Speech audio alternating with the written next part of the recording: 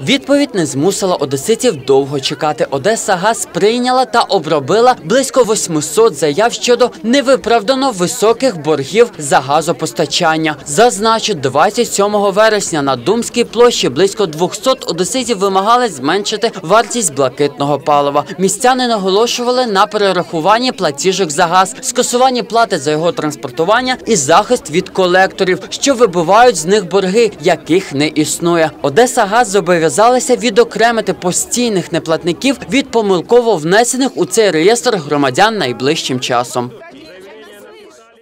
Одесса Газпоставка ввели дифференцированный механизм работы по задолженности. Мы вычисляем э, потребителей, у которых э, задолженность э, не подле- не подлежит сомнению, в которых мы уверены точно. И по поводу этих э, людей э, продолжаем применять э, действия по взысканию задолженности.